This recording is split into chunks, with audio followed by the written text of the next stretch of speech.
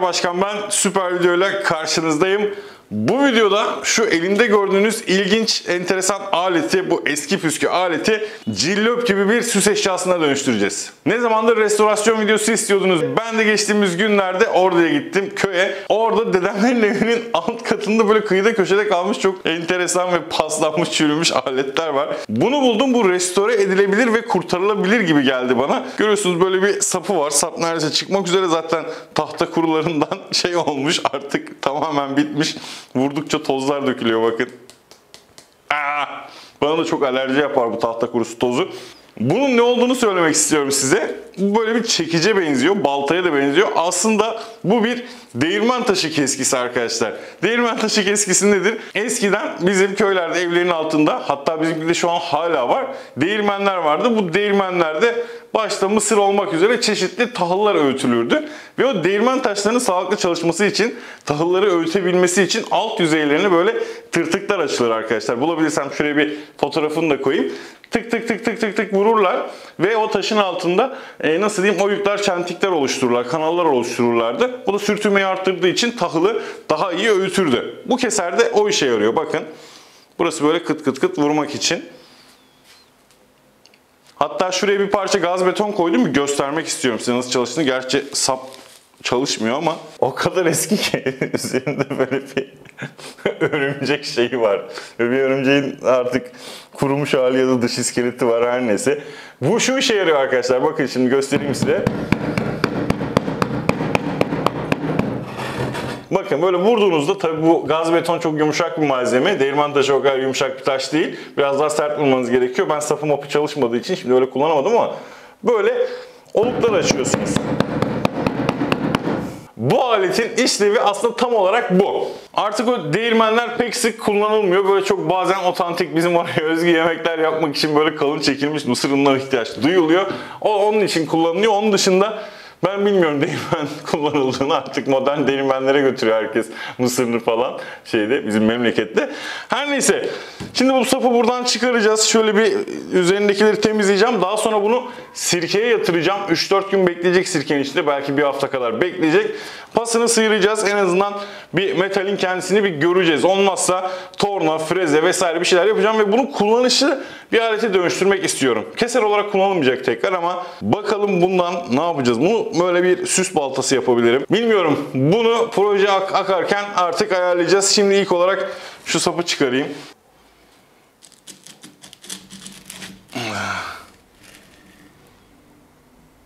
Gerçekten çok eski arkadaşlar. Üzerinde bir ben yokum. Tahtayı görüyorsunuz. Tamamen çürümüş ve tahta kurtları tarafından yenmiş. Tahta kurtlarının pire gibi insan yediğini de biliyorsun değil mi Fatih? Ha? Biliyor muydun? Yeni duydum başkanım. Bak bunlar hep tahta kurularının yediği şeyler, tozlar.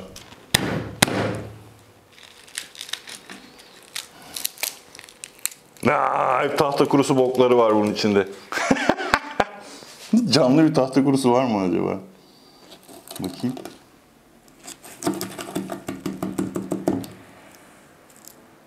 Şunu bir fırçayla şöyle bir fıt fıt yapayım ben.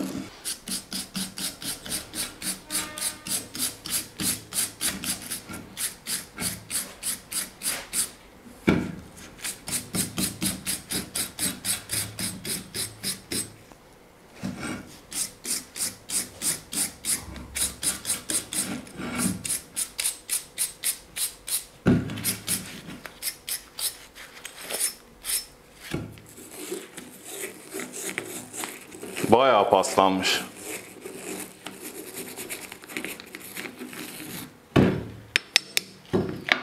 Hmm, burasında çentiği falan da var. Şekli şemali böyle bir yamuk yumuk çok simetrik bir şey değil. Yani gerekirse simetrik hale getireceğiz.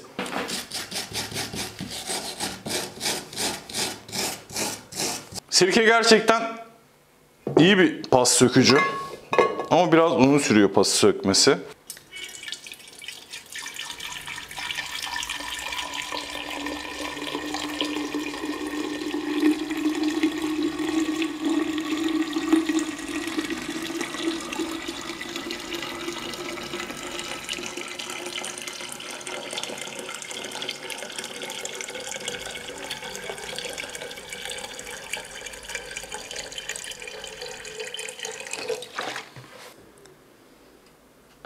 Sirke yavaş yavaş çalışmaya başladı. Görüyorsunuz üzerinde baloncuklar oluşuyor şeyin e, metalin.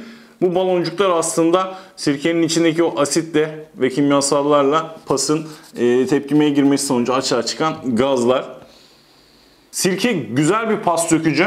Bir hafta sonunda onu fırçalayacağım. Göreceksiniz neredeyse üzerinde hiçbir pas izi kalmayacak.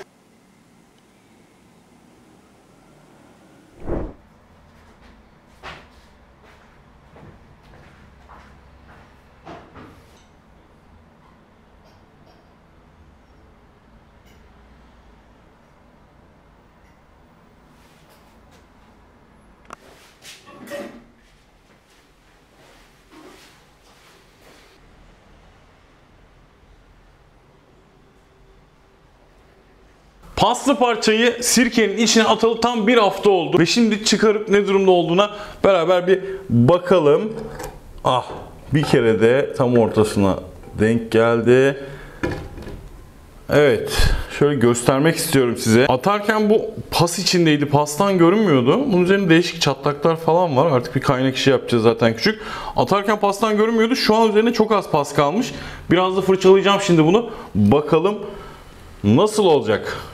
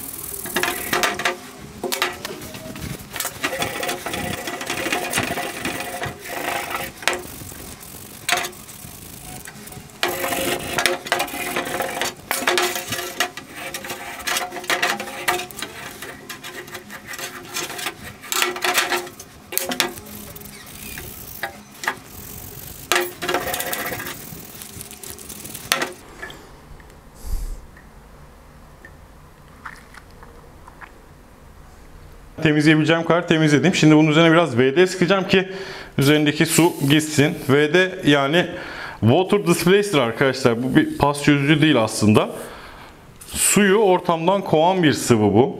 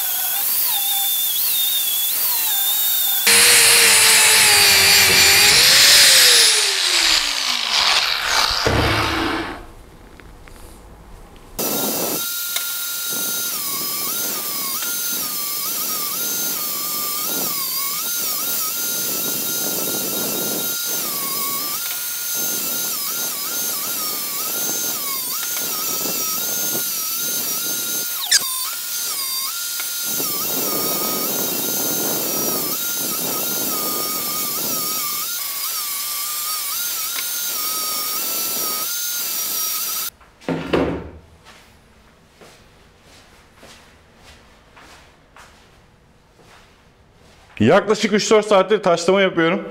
Kusura bakmayın biraz ter içindeyim. Ellerime bakın. Aa! Kaba zımparalama işini bitirdim. Mümkün olduğunca simetrik hale getirdim bunu. Görüyorsunuz çünkü bu balta olacak. Hatta şurasına da kendimce bir şekil verdim. Kaba işi bitti ama benim elimdeki makinelerle bunu ancak buraya kadar getirebiliyorum. Böyle düzgün simetrik yüzeyler oluşturabilmem için daha düzgün, daha gelişmiş bir makine ihtiyacım var. Makineler bu işlerde her şey arkadaşlar. Bildiğiniz gibi şimdi Bull Knife'a gidiyorum arkadaşlar. Bull Knife'da daha önce bir video çekmiştik. İzlemişsinizdir belki. İzlemeyenler için linkini bırakayım. Orada bana yardımcı olacaklar. Onların büyük bir bant zımparaları var. Şimdi bunu orada güzelce taşlayacağız. Ama gitmeden önce şu deliği dolduracağım. Sonuçta bir balta olacak. Yani bu şekilde duracak bu bir balta olacağı için bunun burasını doldurmam gerekiyor. Şimdi şunun içine kaynakla doldurayım. Güzel demirle doldurayım. Ondan sonra da gidelim Bull Knife'da buna güzel bir ağzını yüzünü düzeltelim.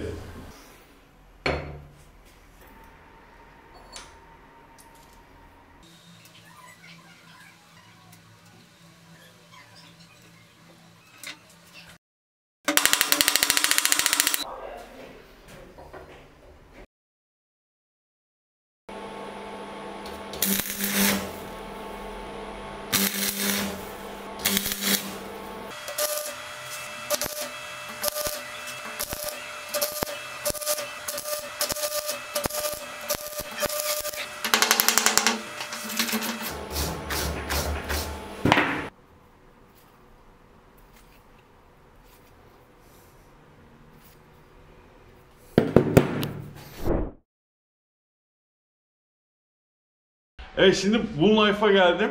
Arif hocam bana yardımcı olacak bu konuda. Çok teşekkür ederim zaman ayırdığın için.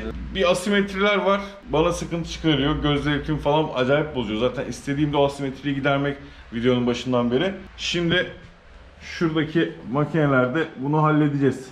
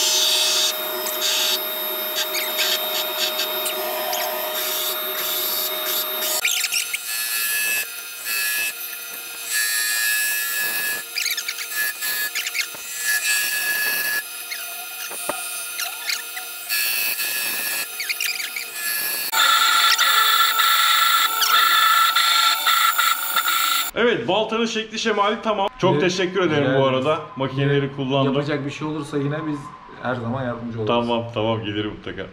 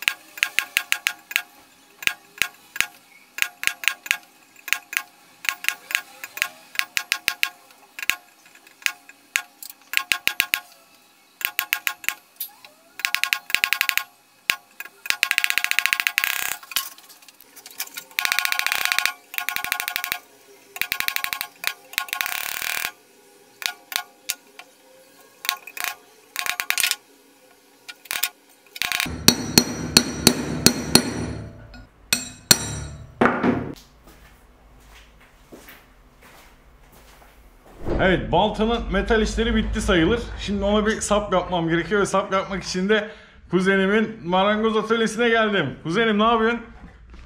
Senin çılgın işlerinle uğraşıyorum. Ne yapıyorsun?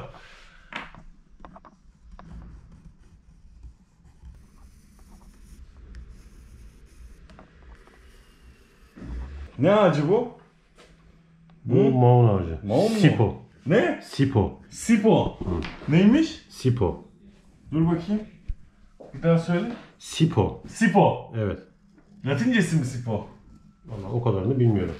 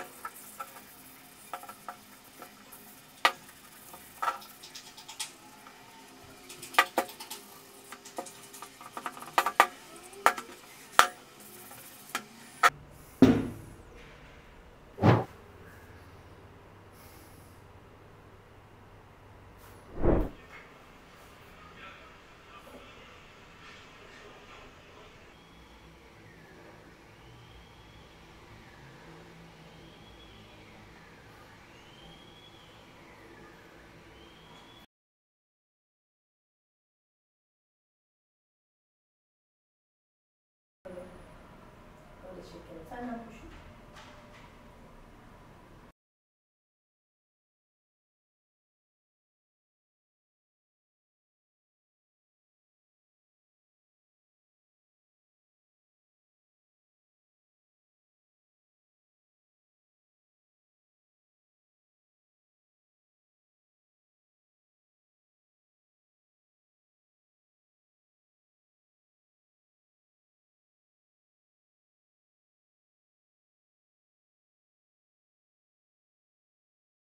Evet, paslı eski değirmen taşı keskisinin dönüşümü tamamlandı. Bu benim yaklaşık ne kadarımı aldı? Pazartesiden 9-11 günümü aldı. E, bir haftasında ben çok aktif olarak şey yapmadım. Nasıl diyeyim? Çalışmadım. Çünkü o şeyi, paslı parçayı sirkeye yatırdık. Bir hafta bekledik. Ondan sonrasında yaklaşık 4 gün uğraştım. İşte zımparaladık, tasarımını yaptık, ortasını doldurduk, sap ekledik, ısıl işlem yapmaya çalıştık vesaire ve bitti. Görüyorsunuz çok güzel bir sapı oldu. Hissiyatı inanılmaz güzel. Buna yaklaşık 5-6 kat zımpara geçtim. 80'den başlayıp 800'e kadar bunu zımparaladım. Çok güzel bir hissiyatı oldu. Burada pimleri kendim yaptım. Bakır boruların içine lehim döktüm. Kaynak e, bakırı iliştirdim içine. Yuvarlak içinde kare desenli mozaik pimlerim oldu. Sapını maun ağacından yaptık. Ceviz yapacaktım ama maun daha dayanıklı olur dedi. Kuzenim, amcamın oğlu Erman bunun kaba şeklini verdi ve burada ben bunu saatlerce işledikten sonra hallettik. Üzerine de tik yağ sardık. Şurada hoşuma gitmeyen bir detay vardı. Orayı hem kamufle ettik hem de dekore ettik e, deriyle, deri parçasıyla. Bu da eski bir cüzdandı, kartlıktı daha doğrusu. Onu güzel güzel kestim ve baltanın tadilatını daha doğrusu değirmen keskisinin bir tomahawk'a dönüşümünü tamamladık. Çok güzel bir hissiyatı var gerçekten. Baksana şuna. Güzel olmuş mu? Ululululu. Ay! Evet bu tarafı sivri gördüğünüz gibi neredeyse bir bıçağın ucu kadar sivri yaptık burayı. Bu tarafı da inanılmaz keskin oldu. Bir saniye hemen göstereceğim. Evet burada eşimin eşim Yeşim Hanım'ın yoga matından kestiğim parça vardı. Burada mengeneyi alırken sıkıştırmasın diye kullandım onu da. Allah razı olsun. Çok. Evet şimdi bakalım kesecek mi yoga matını? Çok temiz bir kesik yaptı. Bir de şöyle denemek istiyorum. Bakalım ne yapacak. Bak!